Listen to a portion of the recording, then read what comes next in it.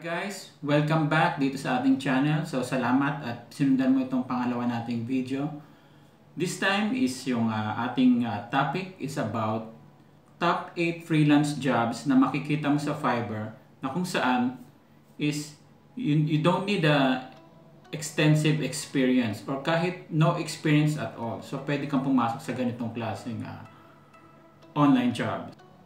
Tuturo ko sa inyo kung ano yung mga bagay na isi-search dito sa Fiverr. So, bago tayo pumunta dun sa ating uh, list of uh, jobs, balik muna tayo dun sa point na kung saan is na, pinili mo na na maging uh, freelancer. Number one, kailangan ma-identify muna natin is yung sino ang kliyente natin dito sa ating uh, work. Number one is uh, most of them is abroad. No? Ito, ito yung nasa mga bansa na to na kung saan kulang yung uh, kanilang manpower. Hindi sila makapag-hire ng full-time na mga trabahador so ina-outsource nila through online. Ngayon, ang tanong is, paano natin makikita itong mga kliyente na to or yung ating future boss? Isa, makikita mo yan sa mga online job portals tulad ng Fiverr, Upwork, Freelancer, onlinejobs.ph. Ngayon, ang tuturo ko lang muna sa inyo ngayon is about Fiverr. Ngayon, bakit Fiverr? Kasi sa med- madali lang. Walang masyadong requirements. Kailangan mo lang mag-sign up, mag-post ka ng gig, at pag maghanap ka ng iyong uh, kliyente at magpasa ka ng application. Ganun lang kadali. So now, kailangan muna natin gawin is uh, papasok muna ako dun sa aking uh, Fiverr account. Tuturo ko sa inyo kung ano yung mga isi-search na trabaho para dun sa mga beginners, yung mga wala pang masyadong uh, experience, no totally no experience at all. I-skip muna natin yung mga may experience na kasi by default alam na nila kung ano yung gusto nila. Usually, kung ano yung current day job nila, hanapin lang nila yan sa online, makakuha na sila ng kliyente. So, i-skip muna natin yun. Magko-concentrate muna ako dito sa mga beginners. So, pasok muna ako sa aking uh, Fiverr account. So, nandito na tayo sa ating uh, Fiverr account, no? So, ito yung ating profile. So, check muna natin. So, ito yung aking profile.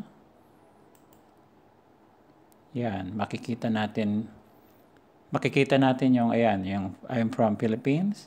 Nag-member ako noong September 2017 pa. Yung huli kong work is noong 4 months pa. So, sample ng mag active gigs ko dyan is yung ito.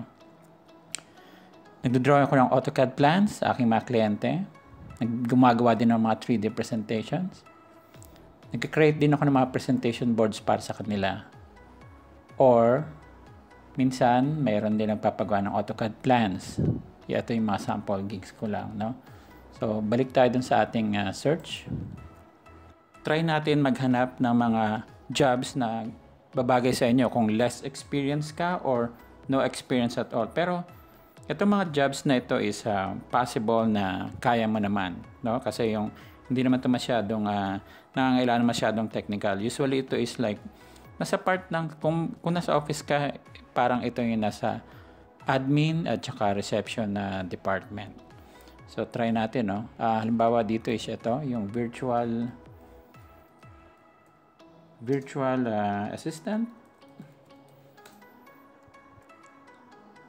So yan yung mga sample ng na nag-offer ng virtual assistant. So kunyari, nasa ano kasi ako ngayon eh, nasa selling mode. Pwede kasi ako maging client mode. So kung client mode ako, ito yung makikita ko. You know? Pwede kong i-hire yung mga tao na yan. Sila ay mga virtual assistant. No? May rating yan. May 5, 5, na naka-rate na sila. May mga choices na. so, yan ang mga part na ginagawa nila. Pwede silang data entry, web search, generation, yan, no? makita nyo. Customer service. So, ayan, maraming nag-offer ng ganyang klaseng job as virtual assistant. Next is itong yung uh, social media manager. So, bawa, sinerch natin yan. So, ito yung mga sample ng mga individuals na nag-offer ng social media management. Uh, yan sila, nagmamanage sila ng kanilang uh, kliyente. Yung account nila is yung uh, Pinterest, Facebook, Instagram, YouTube, uh, LinkedIn, Google+, Twitter. So marami silang minamanage. Although, like kunyari, mababa yung bayad sa kanila, $30. Pero kung kaya mo naman humawak ng mga lima hanggang sampung uh, client, di much okay, di ba? So kaya mo rin yan. Ito naman YouTube Manager. So, alam naman natin na mahirap din mag-handle ng isang YouTube account, no? So, yan, may mga tao na nag-offer ng uh, sila yung mag-manage ng uh, YouTube mo. Sila mag-create, sila mag-promote, sila mag-optimize, no? Sila yung bahala doon sa buong channel at saka buong video. Hindi ko alam pa paano yung uh, arrangement nila dyan. Siguro, uh, pinapadala na lang sa kanila yung content at saka yung mga video. Then, ito na lang yung mga individuals na ito mag-upload tapos lalagay ng mga magta-type, maglalagay sa playlist at mag-upload. Typing jobs. Meron din yan dito sa Fiverr. So ito, meron mga individual na nag-offer ng typing jobs. So meron dyan yung mga, siyempre, pag nagta-type ka, so mabilisan yan. Sila yung pinakamabilis. So gamit nila yung mga normal uh, ginagamit sa mga data entry like yung mga uh, Excel, Word, PowerPoint. Okay? So, ayan, marami sila nag maraming nag-offer ng ganyang uh, job. So, pwede ka siguro diyan kung wala kang experience sa actual work, pero meron kang computer, may Excel ka, may Word, so mabilis ka mag-type, why not? Try mo rito. Audio transcription. Ito naman yung mga individual na nagtra-transcribe ng mga words na from video. Siguro, yung client nila, merong speech or isang video, pero kailangan ng write-ups. Kailangan ng uh, hard copy mula doon sa video na yung sounds nila. Sounds nila ito transfer sa printout. So, ito yung mga individual na to na gagawa ng ganong trabaho. Okay? So, kailangan mo lang dyan is may computer ka, may headset ka, meron kang maayos na uh, internet connection. Okay? So, pwede mo yung itry. Dito kasi wala kang wala kang ibang skills dyan kundi makikinig ka rin lang tapos isusulat mo yung mga maririnig mo doon sa video. Usually yan is tina-transfer nila sa book. Gagawin nilang book or ipapublish nila online. Siguro yung raw material is galing sa isang speech or news. Siguro may experience ka sa pagtuturo, no? Pero hindi mo alam pa paano gagawin siya sa isang uh, online job. So, meron yan dito sa Fiverr, pwede kang tutor. Pwede kang tutor sa isang, sa chess, sa sports, no? Pwedeng sa mga subjects. Yeah, meron siya sa math, pwedeng sa mga kids, no? Pwede rin pala sa languages. Ayan, no? Top rated siya. 5. Nagtuturo siya ng uh, Chinese. So, meron din sa programming. Yan. So dito is kailangan mo lang time. Tapos siguro ka-chat mo yung client mo. I-tutor mo siya. Siguro by chat or hindi ko alam kung ano yung magiging uh, platform nyo or ways of communication. Pero somehow, is, uh, yung pag-tutor, isa rin magandang talent. No? Isa rin um, ibang skills din yan pag nagtuturo ka ng lalo pag yung mga bata. So, try mo rito. Malay mo, dito ka makuha ng permanenteng kliyente or baka maging kliyente mo rito isang school mismo. Okay? I-try nyo rin itong data uploader. So, itong mga data uploader na ito, sila yung nag-organize lang ng mga finished product na. Kunyari, pwede itong mga pictures na i-upload, mga uh, article na kailangan mo rin i-update sa isang website, o kaya ipasang mga documents na kailangan i-proofread at ispasa doon sa isa pang kliyente. So, ayan, meron mga taong ganyan na nag-offer ng job. So, pwede mo lang silang gayahin kung gusto mo ng kanyang job, no? data uploader. Nag-upload ka ng mga Word file, PDF, uh, ah, pictures, o kaya video, o kaya minsan nagda-download ka rin dyan. Nag-download ka ng mga data na kailangan nila, na ibibigay nilang instructions.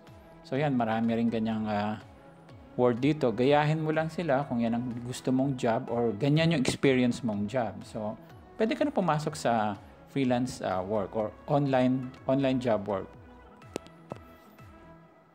So ayan guys, na-list down na natin yung mga type of work na pwedeng pasukin ng mga beginner, yung mga less experience or no experience at all. So, nilist down ko na dito. So, kayo nang bahala mag-search kung ano yung babagay sa inyong uh, work dyan. Depende rin kung ano talaga yung type nyo or background nyo kung saan kayo galing, kunyari, o anong course kayo graduate.